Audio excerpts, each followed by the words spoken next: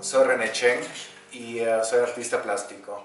Estoy haciendo este video para invitarte a crear en tu casa, aunque no seas artista plástico, porque el arte enaltece el alma.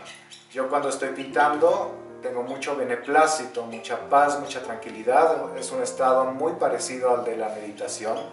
En este momento estoy pintando una cara, una cara muy alegre, con muchos colores y te invito a que hagas algo parecido en el sentido de que sea algo positivo.